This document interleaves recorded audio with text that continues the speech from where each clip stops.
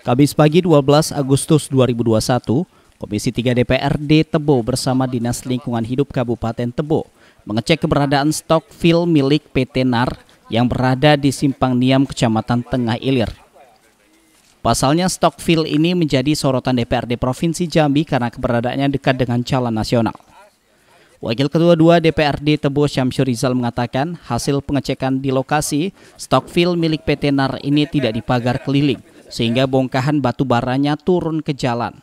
Untuk itu dirinya meminta kepada PT NAR untuk mundur sekitar 33 meter dari jalan karena terlalu dekat dengan jalan karena khawatir ke depan akan mengganggu aktivitas. Pemindahan lokasi ini diberi waktu hingga tahun depan karena kontrak mereka akan habis pada akhir tahun ini. Dari Komisi 3 ini adalah mengecek stokpel PT NAR yang beberapa minggu yang lalu banyak laporan dari masyarakat e, ternyata memang lokasinya kan terlalu dekat ke badan jalan. Jadi kita minta dalam waktu Januari paling lambat bergeser sesuai dengan ketentuan 33 meter dari jalan. Yang kedua menjelang Januari tadi kita dengar sendiri bahwa minta waktu dua bulan untuk melakukan pagar.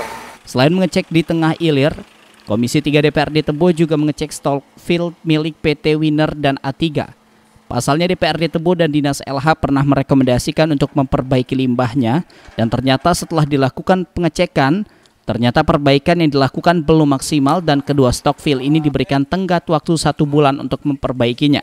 Pasalnya limbah batu bara bisa merusak lingkungan. Kadis Lingkungan Hidup dan Perhubungan Tebo, Eko mengatakan, dalam hal izin PT NAR tidak ada pelanggaran yang dilakukan. Hanya saja melihat kondisi di lapangan seperti ini membuat LH akan melakukan pengecekan kualitas air sungai di sekitar lokasi. Khawatirnya limbahnya masuk ke sungai. Tapi meskipun begitu kami akan turun untuk cek sungai air sungai itu. Kalau memang kalau memang air sungai itu tercemar, baru kita ngambil tindakan ke mereka, alihkan pembuangannya.